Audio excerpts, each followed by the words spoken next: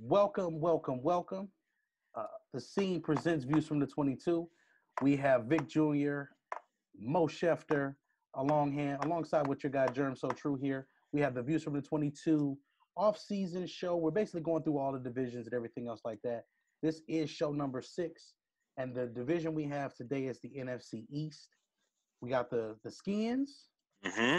We got Whoa, Let's Washington football Washington- team. The Washington football team. I got Yes. hey, hey, no, I had to had to put that segue in there. We're gonna start with actually the Washington football team. Mhm. We're gonna bounce our way around Giants, Eagles, and then Cowboys. So we're gonna let's start with the Washington football team. Mr. Schefter, go on ahead, take it away.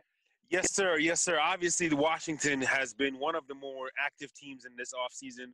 Uh, they started off by hiring Ron Rivera, and he got to work from Saints from day one, really trying to change the culture in Washington, or at least in the football team, because the rest of it, um, and he's been working, and he and he's been doing an excellent job, and uh, he I think he has molded this team with this final 53 to the guys that he feels will not only give him the best chance on the football field, but more importantly, the guys that will give him the best chance at a, at a good culture and a healthy locker room. Uh, they they got rid of Trent Williams. They traded him to the 49ers. He didn't want to be there. I thought it was a good thing for the locker room and the, just the reputation of everybody involved to just say, "Hey, man, you don't want to be here. We get it. The previous staff violated you. Cool. We'll we'll take you somewhere. We'll send you somewhere where they'll appreciate you and somewhere where you can actually compete and win." They also uh, let Josh Norman walk, who uh, Ron Rivera was his first coach in the NFL. I think that speaks volumes to what Ron Rivera thinks about Josh Normal, Josh Norman. They also let Quinton Dunbar walk. They they may miss him, uh, but again, all a, a, a thing about getting younger and getting guys that'll fit that locker room better. They signed Kendall Fuller, brought him back. They tagged Brandon Scherff and made sure that he's gonna try to he's gonna be in Washington for for the ex- very long extended period of his career. And they also signed Wes Schweitzer, interior offensive lineman. And I think again, no beef, no Lombardi. So those are two crucial pieces. And then in the draft, they drafted one of the best players we have scouted over the last five years in Chase Young. And now you look at that defensive line with with uh, the two Alabama boys with Ryan Kerrigan. They are going to be deep. They are going to be strong. They're going to be quick. They're going to be physical. It's all going to be dependent on the play of Dwayne Haskins. Now, Dwayne was two and five in 2019, but there's a plus side to that. He started 0 and five, but he finished two and 0. And and so hey, we got to look at the plus sides, right? Now in those five starts, he had three touchdowns, seven interceptions. No bueno. But those final two games, he threw four touchdowns and zero interceptions. I think Washington is a team in transition. I think they're going to be competitive. I think they're going to win some games they shouldn't win. I think they're going to play spoiler in a usually tight division. But they gonna come out with like six, seven wins in the end, and just you know. But I, I, I can't wait to see how this team looks on the football field this year. And don't forget former first round pick Montez Sweat either in that group. Another one of those of course. dynamic pass rushers. Had Of a heart course. condition that knocked him down in the, in the draft last year. Uh, Vic, you got the Giants, J- the G-men. New New York Giants, bro. Um, listen, they had a good start to this 2020 season. They had some good free agent pickups. They had a good draft. Let me start with the draft. Uh, first and foremost, Andrew Thomas, fifth pick overall. Um, this is a kid that I mean, we scouted. We felt like was the best. I'm sorry, yeah, fourth overall. We scouted this kid. We thought he was the best pure uh, left tackle in this draft. Um, you're talking about uh, very light on his feet, flexible, natural knee bender, great pass protector, and definitely improving as a run blocker, which is something they're gonna need.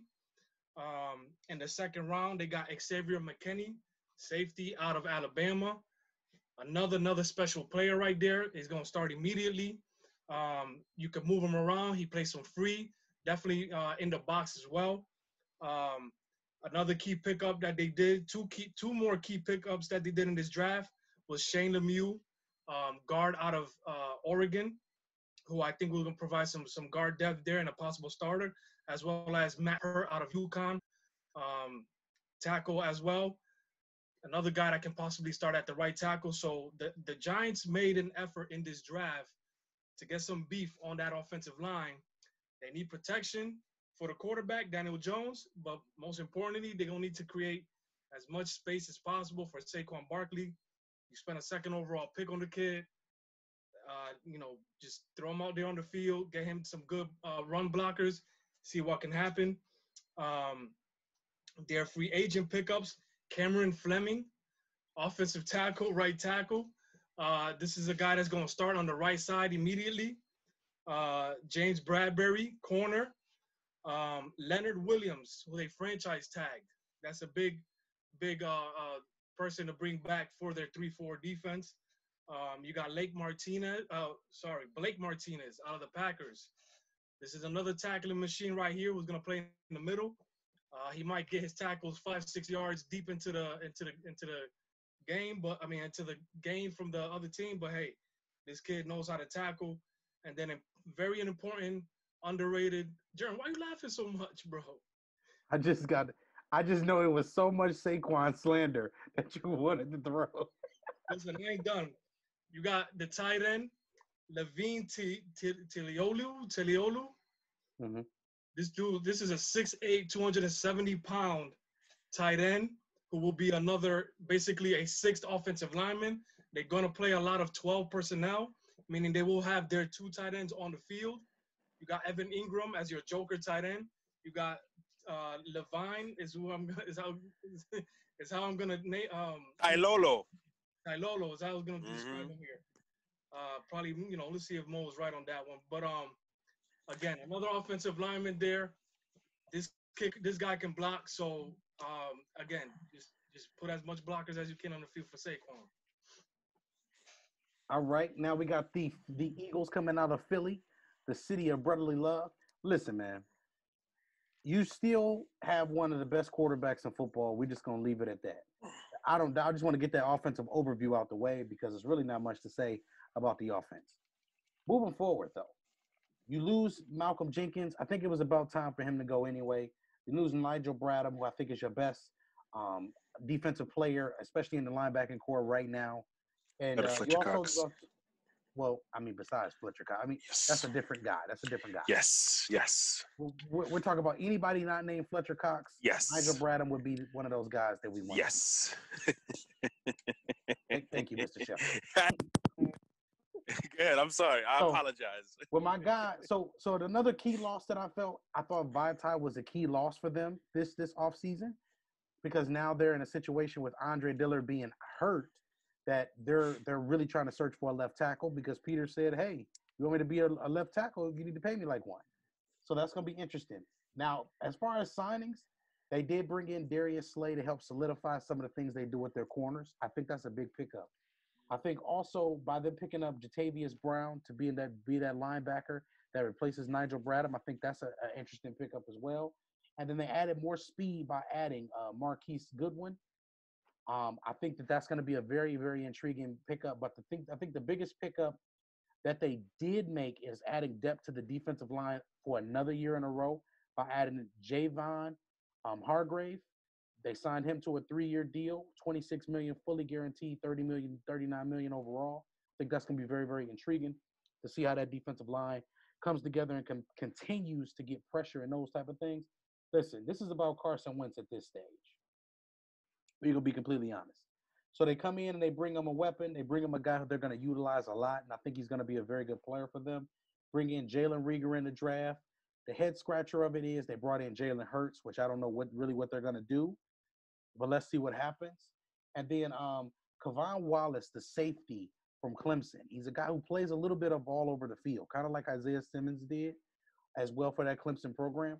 I look to see how they put all of those things together on the field, but I like what I have seen so far.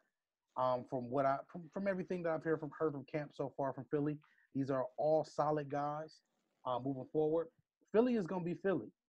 I think they're going to be top two in the division, guaranteed for sure. I think they do a good job of different things. It's just going to be does the offensive line play well enough, and does Carson Wentz take care of the football? If that happens, we're going to get them back in the playoff contender picture again. And who knows? As we say, all it takes is just get to January. We'll see. Um, Indeed. Next, we got the Dallas Foul Boys. I mean Cowboys. Yeah. So with that being said, I'm going to start off with their subtractions. That's my job, sir. Yes, sir. So, um, as we know, the Cowboys were eight and eight last year. Uh, so the jokes are just gonna keep coming with Dallas. They lost some players on offense, but I don't think any of them was significant. Uh, outside of um, Xavier's Xavier Su'a-Filo, the offensive lineman who now moved on to to uh, Cincinnati, actually. Uh, but they also and, and as well as Travis Frederick, he retired. Um, so that yeah, definitely big loss. Uh, Michael Bennett is gone. He also retired. Robert Quinn left. He's now with the Bears. So did Maliek Collins. And then in the secondary, they lost Jeff Heath and Byron Jones. Now, Jeff Heath is not, you know, Jamal Adams or Kam Chancellor, but he's he's somebody who gives you range. He's somebody who gives you tackles. He's somebody who gives you a bit of physicality there. Um, and then you obviously lost Byron Jones. So that secondary is, is a whole new secondary. They lost Brandon. They just brought back Brandon Carr. I don't know how excited uh, Dallas fans are about that. Not much by the by the look on Vic Jr.'s face. Um, I'm a Cowboy fan. so yeah, man, I don't know. I mean, they, they lost depth in that secondary. They lost some offensive linemen. Uh, we will get to their gains, but but there are some significant losses this offseason for Dallas for sure. Now, real quick, uh, Brandon Carr was signed to the practice squad. It'll be the first time in 12 seasons he misses a game if he stays on the practice squad. That's insane. I don't. That's hey, That's a- 12 seasons. He hasn't missed one game. It's a young man's game, So- baby. With that being said, Vic, draft picks. Yes. So the Cowboy draft picks. I mean, another one of those A plus drafts that we gave out um, in the in the you know the draft grades uh, back in April. Um, we got CeeDee Lamb first round.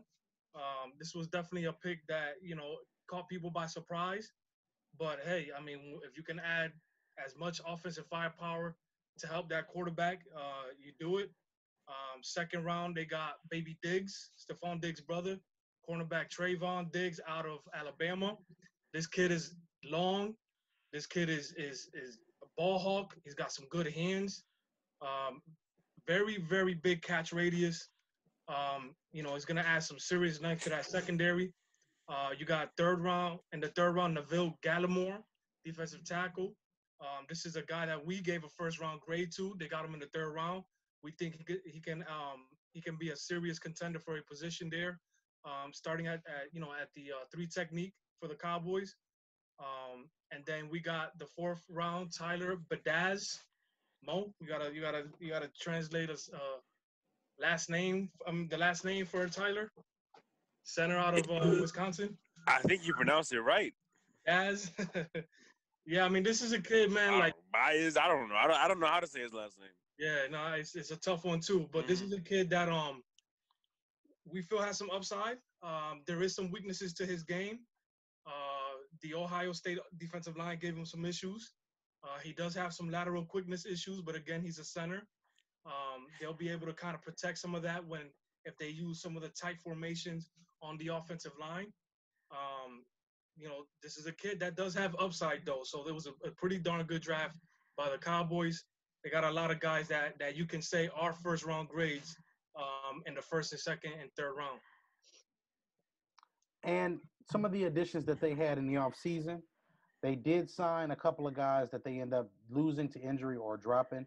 Just notable mention, Quint, Ha Ha Clinton-Dix was dropped, and McCoy, obviously, he hurt himself as well, so he's no longer on the roster this year either.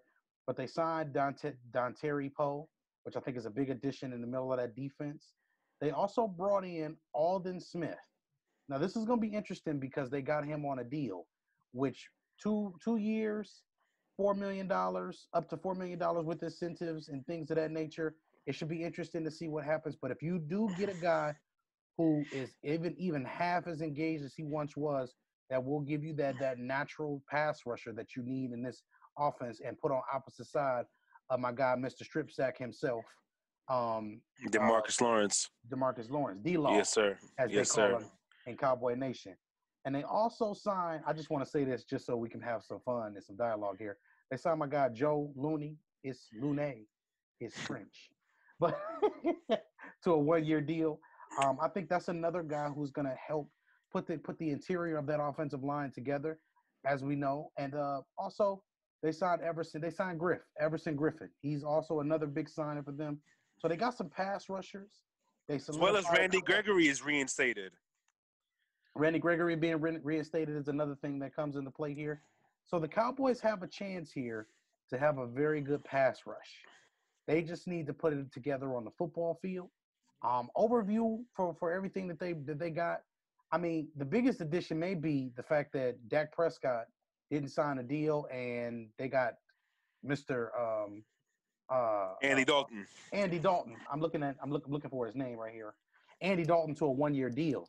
And with those things being said, I think that the key thing is this is one of those offenses in football that you don't too much have to worry about certain things. Like you don't have to worry about trying to go out and win a lot of games because as, as long as you keep that offense on schedule with Zeke Elliott, Amari Cooper, now CeeDee Lamb, Blake Jarwin, and um, Michael Gallup, it should be very interesting to see if Dak struggles, they may call for Andy Dalton, the Red Rock. Listen, if Dak struggles, or if Dak gets injured, God forbid, or he's got a concussion protocol, or he's got to go change his socks, or he got to go change his cleats, or he's got to go use the bathroom.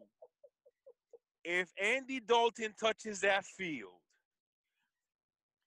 things are going to get hmm. uncomfortable in Dallas. All right, that's all I'm going to say about it. If Andy Dalton touches the field, it's going to get uncomfortable in Dallas. Vic, we, we we know that got some issues, but he's still, to me, in my opinion, a significantly better quarterback. But I get what you're saying. If it comes to It ain't- you saying Dak Prescott is a significantly better quarterback? bro, significantly, Dak- bro, Dak, Germ, Germ, could you please take out the dictionary? your- This your man point- said significantly. mic is stuck in your beard, brother. All right, we can't hear you. But listen, You said significantly, Vic. significantly, bro. Significantly. significantly better quarterback right now. you know, Vic, then now you can't be mute. Vic, Mr. Santana, you, you will be muted if you say that word one more time. No, significantly, no. bro. If, if we, if you like him better, you can like him better, bro. It's okay. We didn't say he wasn't better. Is Dak a top 15 quarterback? Maybe. Maybe. Maybe. Yes, maybe. We did this list before, and he came 12 and 13 to us. No, no. First Okay.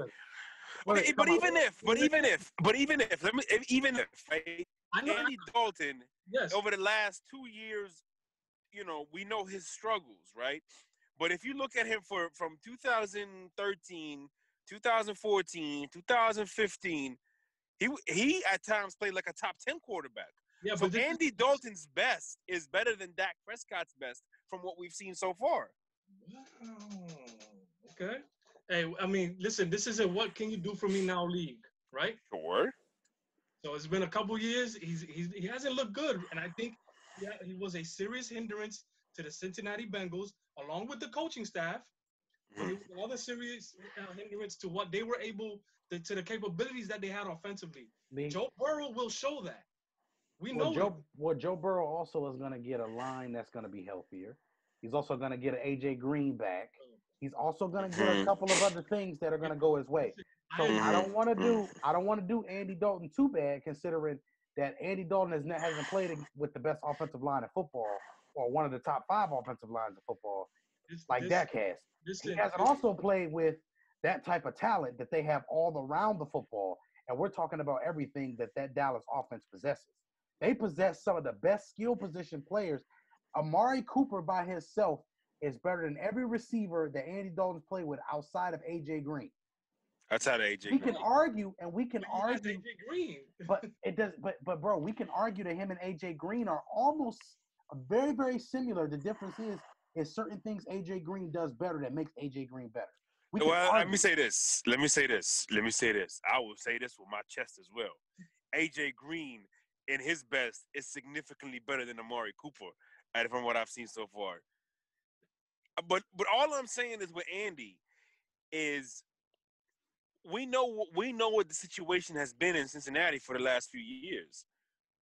And I think if now with Dallas, new offensive line, new coaching, better weapons, rejuvenated, remotivated, refreshed. He we've seen we've seen guys who it just it it it flames out in one place and they go to a next place where they're not necessarily expected to be the starter, but but one way or another they find their way on the football field and it's like, "Oh, this is the guy that that team X drafted to be this player." And all I'm saying, all I'm saying, if Andy Dalton touches the football field, it's gonna get uncomfortable. I, I- and I agree with you on that. I agree with you. On Okay. that, but Okay. I, He I just thinks- still think that I think the Cowboys' offense will digress if that were to happen. Okay. You know what's funny? Okay. Mhm. They may actually be better because it may force them to do some things that the offense should be doing. Instead of going down the field, they may have to go a little bit more intermediate. And that may be in the best interest of, say, Blake Jarwin, who I think is a pretty good player. Say Amari Cooper, who quick slant could turn into an 80 yard touchdown. At least you don't have to worry about him doing those. Elliott coming out the backfield, screen passes, all those different things. So I'm just saying. by CD goat. I mean, uh, I mean, just a couple things. Again, They got a lot of guys that win in telephone booths. Again, All of them are six six foot at least too. By the way, Vic. Rep. Dak is a top 15 quarterback. Sure. Dak is a top 15 quarterback. We know his struggles. We know, Right. we know, we, we've made it clear that in order for you to win a Super Bowl, you have to be one of the elites. He is not an elite, but he is in the top half, though. Well, And Andy Dalton, I don't know. you could win a Super Bowl with Dak at his best. You could also win a Super Bowl with Andy Dalton at his best. I don't know that. I don't think so. I uh, disagree. Did you are you forgetting his 2014, 2015, Bro. 2013? Let me let me, let me was ask a this. long Watch this. Watch this. Watch this. Oh, mm. five years Trent- ago? Trent Dilfer won a Super Bowl. Brad Johnson won a Super Bowl. We've we've been all through that, bro. Yeah, but, yeah, yeah. No, no, no, no, no. no. Like the reason Brady haters now. No, no, no, no, no, no, no. Tom Brady haters. No, no, no, no, no, no, no, no. Watch, watch, watch yourself. Watch yourself, there, Junior. Um, literally, watch yourself, Junior. Listen, th- th- this is what I want you to understand. All it takes is for the defense to be opportunistic, have a solid running game, and those two things by themselves will solve a lot of things in in in, in, in general. If mm. That means Dak just has to play on time, on the money football, and I know Andy Dalton can play that way behind that offensive line. That's what I'm saying. Yeah. He's been in the AFC North. He's been in the Ohio area his entire career. And all I've seen from Andy Dalton is I've seen inconsistencies with a lot of things around him that also affected him as a player. Yeah. If you put him in a, a better culture, we don't know what we're gonna see. We don't know what. So- we don't so know at what. the end of the day, that's all I'm gonna say. I personally see a guy that misses a lot of throws, but we could study this. You know how it is. And Dak doesn't. I mean, I was just gonna Bro, ask this. like, are we talking about throws that like he le- he leaves them short? Like his arm strength is gone. Vic and Dak doesn't. What do you mean Dak does, bro? Dak Bro, is I've seen Dak. I, listen, I've seen I've seen Dak bro, with some Yes. with some one bounces to first plate plenty of times. he still Okay. can throw accurately to the sidelines. How do you know Andy can't? We've seen Andy do it. No, when? What do you mean? So you telling me you have you've never seen Andy complete comebacks to Tyler Boyd and to AJ Green Well, we gonna we gonna and we gonna, Mohamed Sanu? we gonna study this.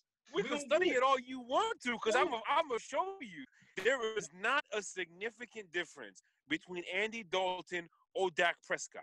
And from what I've seen so far, Andy Dalton at his best, I've seen better than Dak Prescott at his best. From what I've seen so far. And it is simply off of one Andy Dalton played almost MVP caliber a few years ago. And and Dak Dak look, Dak Dak Dak can only do so much because he is polished and he is strong and he is physical but then you still see all these inaccuracies and you still see all these sh- throws that are short or that are underthrown and it's like what what what what am I supposed to evaluate other than there's just something not clicking for you? Right. Again, I'm gonna be perfectly clear. I think Dak is a top 15 quarterback. That's not that's not a big statement because Jimmy Garoppolo is a top 15 quarterback. And Mhm. and what? What's wrong with that? You- You're making it seem like that's a bad thing. That's I'm not saying bad. it's a bad thing. That's what I'm saying is, what I'm saying is that's how real the quarterback position is. We said it. Remember, why did we do a top five show? We did a top five show because we said we do top ten. We're not gonna hurt enough feelings. Top five is really the cream or the crop, the Yeah. creme de la creme. Okay, shout out to TIP. Right. And what's separating Dak from that group is his inability to perform in the toughest situations, to throw the ball accurately in the toughest situations, to make the best decisions in the toughest situations. Be consistent that, in the just in the toughest situations. He has shown that he can take over a football game. Have mental lapses in tough situations. Oh, I, I'm That's what sorry. That's what I'm saying. He that's where he that's what's separating him from the top five, top ten list. Uh, all right, clearly we're gonna have to finish this. With- we're, clearly we're gonna have to wrap this up. with- but we're have to with that being said, y'all, yeah. Make sure that y'all check it out. The scene. Use on the 22. We got another video coming up. Y'all stay tuned for that. We got a whole nother division coming up next time. But with that being said, this will be something you guys will see more often because we're gonna start arguing all Yes. the time. Just Yes. because because I don't like anything like this going on. I don't like blasphemous statements. So with that being said, make sure you guys see the next video and we out.